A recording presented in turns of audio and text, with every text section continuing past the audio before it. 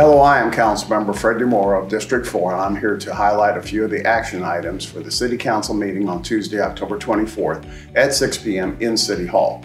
City Council will issue a proclamation declaring Tuesday, October 24th, World Polio Day to encourage all citizens to join the city and Rotary International in the fight for a polio-free world. A public hearing will be held on a preliminary development plan and rezoning application for the Pryor Mixed Use Project proposed at the corner of Southwest Pryor Road and Missouri 150. The mixed use development on approximately 20 acres would include 253 luxury apartments and retail space. Following the public hearing, Griffin Riley will present a conceptual economic development incentive request for the Pryor Mixed Use Project. The request includes sales tax exemption on construction materials and property tax abatement. The total value of the incentive is $4 million, or 6.5% of the total project cost. Council will hear a conceptual presentation from the Lee's Summit Parks and Recreation on a proposed park impact fee.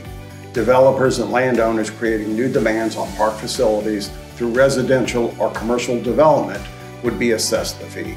Fees would support the continued growth of Lee's Summit and its parks. Thank you for tuning in to the council preview. Have a great week, Lee's Summit.